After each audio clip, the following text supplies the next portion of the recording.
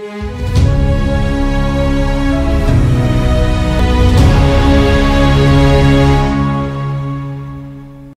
दोस्तों, राजनीति की बातों में आपका स्वागत है। मैं हूँ आपका दोस्त धर्मेंद्र कंवारी और पॉलिटिक्स ऑफ़ चौधर के आज के वीडियो में हम अटेली विधानसभा क्षेत्र के चुनावी इतिहास को जानेंगे दोस्तों। अटेली भी बहुत पुराना हल्का है और ये पैप्सू में जो होता था, पैप्सू के अंतर्गत भी आता था। और उन्नीस सौ इक्यावन और उन्नीस सौ चौवन के जो पैप्सू के चुनाव हुए, यहाँ से दोनों बार कांग्रेस के मनोहर श्याम जी विधायक चुने गए थे और दोनों ही बार उन्होंने निर्दलीय ओंकार सिंह को पराजित किया था। इसके बाद हरियाणा बना और उन्नीस सौ सड़सठ का चुनाव आया और उन्नीस सौ सड़सठ में ही अटेली विधानसभा अस्तित्व में आई और तब से लेकर 2019 तक यहाँ एक उपचुनाव समेत 14 बार चुनाव हो चुके हैं और अटेली ने हमेशा ही जो यादव समुदाय है, उसके प्रत्याशी को जिताकर चंडीगढ़ भेजा है। और यह एक तरीके से रिकॉर्ड भी है, क्योंकि अन्य सीट जो इस सीट पर अन्य जातियों के मतदाताओं की जो संख्या है, वो 60 प्रतिशत है, जबकि यादव जाति के मतदाताओं की संख्या करीबन 40 प्रतिशत है। और इसके बावजूद तेरह बार दूसरे स्थान पर भी यादव समुदाय का ही प्रत्याशी यहाँ पे रहा है। और ये अलग बात है कि विजयी रही इन उम्मीदवारों की, पार्टियाँ तो अलग अलग रही हैं। और केवल उन्नीस का जो विधानसभा चुनाव था, उसमें लक्ष्मण सिंह चौहान नाम के एक प्रत्याशी थे जो दूसरे स्थान पर रहे थे। तो आप अंदाज़ा लगा सकते हैं कि राव साहबों का जो जलवा है, वो अटेली सीट पर दिखता है। उन्नीस सौ सड़सठ में जो विधानसभा चुनाव हुए थे, उसमें कांग्रेस के राव निहाल सिंह जी चुनावी मैदान में उतरे थे और उन्होंने अपने जो प्रतिद्वंदी हैं, राव रामजीवन जी को हराकर ये चुनावी मुकाबला जीता था।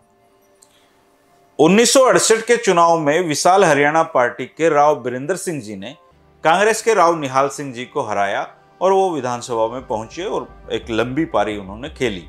1972 के जो चुनाव हुए, उसमें हरियाणा विशाल पार्टी के राव बंसी सिंह जी मैदान में उतरे और उन्होंने कांग्रेस प्रत्याशी नरेंद्र यादव से जीत हासिल की। 1980 के उपचुनाव में राव बंसी सिंह जी ने कांग्रेस प्रत्याशी के रूप में चुनाव लड़ा और लक्ष्मी नारायण यादव को हराकर यह चुनावी मुकाबला जीत लिया। उन्नीस सौ बयासी में राव निहाल सिंह जी ने राव बंसी सिंह जी को हराकर बाजी मारी और उन्नीस सौ सतासी में राव लक्ष्मी नारायण जी ने लोकदल की टिकट पर चुनाव लड़कर क्षेत्र के सुप्रसिद्ध बाबा खेतानाथ जी, जो यादव ही थे, उनको हराया। उन्नीस सौ इक्यानवे में राव बंसी सिंह जी ने राव अजीत सिंह को पटकनी दी और उन्नीस सौ छियानवे में राव नरेंद्र सिंह जी ने राव ओम प्रकाश इंजीनियर को हराया।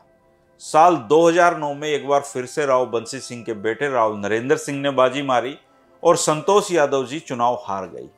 2005 में निर्दलीय प्रत्याशी के रूप में नरेश यादव ने राव नरेंद्र को हराकर जीत हासिल की और 2009 के चुनाव में कांग्रेस की अनीता यादव ने भाजपा की संतोष यादव जी को मात्र नौ सौ तिहत्तर वोटों के अंतर से हरा दिया। साल 2014 में भाजपा की संतोष यादव ने इनेलो के सतवीर यादव को पराजित करके मुकाबला जीत लिया। कांग्रेस की अनीता यादव चुनाव तो लड़ी, लेकिन पाँचवें नंबर पर रही और उनको दस हज़ार से भी कम वोट मिले। साल 2019 के चुनाव में भाजपा ने अपनी जो टिकट है, वो सीताराम यादव जी को दी और उन्होंने बसपा के अंतरलाल जी को हराया। और इस तरीके से जो अटेली का इतिहास है, वो राव उम्मीदवारों के पक्ष में हमेशा रहा। अब 2024 सामने है दोस्तों, कई तरह के सियासी खिलाड़ी और सियासी समीकरण अटेली में बने होंगे। तो 2024 में अटेली का मुकाबला कौन जीत सकता है, आप ज़रूर कमेंट करके बताना। कल के तीन बजे के वीडियो में मैं फिर एक नए सियासी हल्के की कहानी के साथ आपके बीच आऊँगा दोस्तों। आप अपने अमूल्य सुझाव भी कमेंट कर सकते हैं, मुझे उनको पढ़ के अपने वीडियो में सुधार करते हुए खुशी महसूस होगी। कल फिर मिलेंगे तीन बजे, शुक्रिया, नमस्कार।